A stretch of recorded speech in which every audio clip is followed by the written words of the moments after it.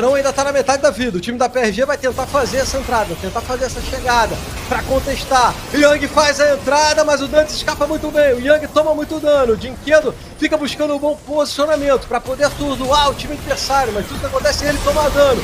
O Maokai levou a esfera no meio do time da PRG que toma uma onda de choque linda. No triple kill do Yang. O time da Kabum persegue porque quer mais quer matar tudo e todos, quer fazer um ace no jogo e num quadra kill do Yang finalizar a partida, Tisha.